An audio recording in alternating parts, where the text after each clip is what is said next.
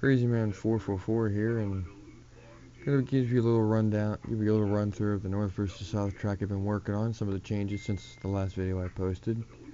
Uh, one of the changes sitting right in front of us here is mud truck. Got materials a little more fancified up. Got a windshield in it. Uh, redid, gave it more, gave it the managed materials section. So now I got the better chrome going on for it better shininess to it. Rims are shined up, axles are textured, or they have a texture for them now. Got a motor in it and everything, so it's it's getting there. It's still a little tinkering project here and there.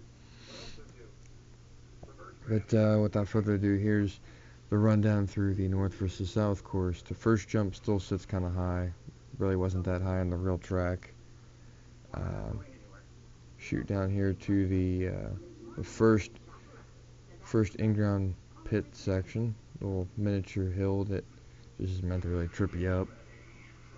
Swing back around here and uh, cross back over the ditch and head for the first pit, which I steepened this jump right here so you can't hit it as fast or else you will launch way too high in the air and it will be unrealistic and probably slow you down. I mean, you can clear that, but uh, I wouldn't advise hitting it that fast. I intended to do that. And you come through this pit, which I haven't really worked on this pit. It seems to be pretty fine, actually. No big issues with that one. It's a little bit deeper, a little bit harder to get through. Slow down for the, ooh, the in-ground there. The ditch. Swing back around, get yourself lined up for the finish line. Still a little slick. Might be my truck, to be honest. Swing back around for the finish line. And whoa! And hopefully not damage the truck in the process. That's pretty much the rundown of the north versus south track. Um, guess for better lack thereof, I'll do a quick little uh, run over here to this pit, the first pit you hit, just to show you how uh, how steep that actually. What happens if you hit that going way too fast? Just so you can see what that's like. If you uh, if you come flying into this pit just right and hit that too fast, you'll uh, be in for a rude awakening. And that's what happens if you hit it too fast. While it does get you out of the pit quicker, it looks highly unrealistic, and yeah, you'd probably do some huge damage to a real-life mud truck.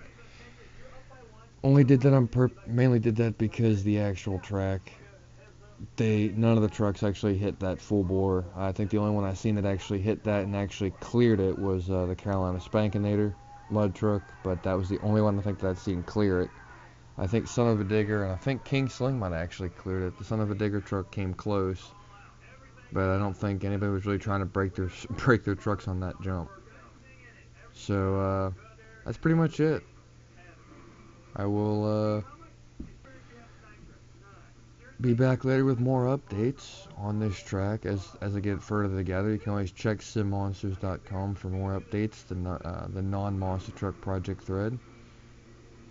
Uh, and uh, let me guys post post away in the comments section. Let me know what you think of the track so far.